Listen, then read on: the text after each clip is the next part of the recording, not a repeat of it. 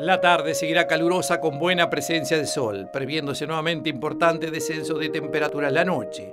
El sábado se espera un comienzo de jornada fresco, evolucionando a caluroso en la tarde con importantes periodos de sol.